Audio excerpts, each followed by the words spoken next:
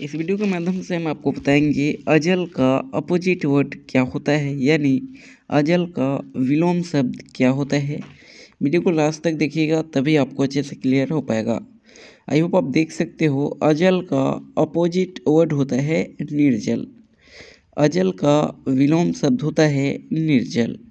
Comment section में आपको बताना है, परीक्षा का अपोजिट वर्ड क्या होता है। आई होप आप बता दोगे और चैनल पर नए हो, चैनल को सब्सक्राइब ज़रूर कीजिए। Thank you for watching this video